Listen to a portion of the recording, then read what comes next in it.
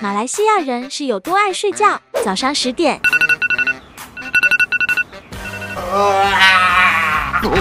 刷牙梳洗，在厕所小睡十分钟。十点半开始上课，继续小睡两小时。十二点吃午餐，吃完午餐继续睡觉。三点开始做功课，做完功课继续小睡两小时。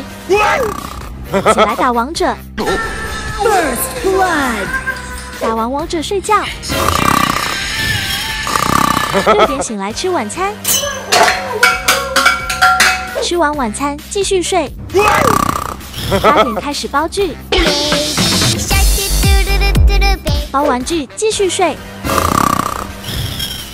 半夜醒来吃宵夜，吃个绵绵。吃完宵夜继续睡。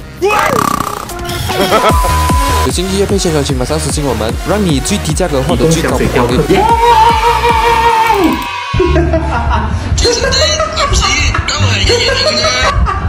喂，你在看谁的 video 哦？还有谁？当然是金三哥的 video 啦，看！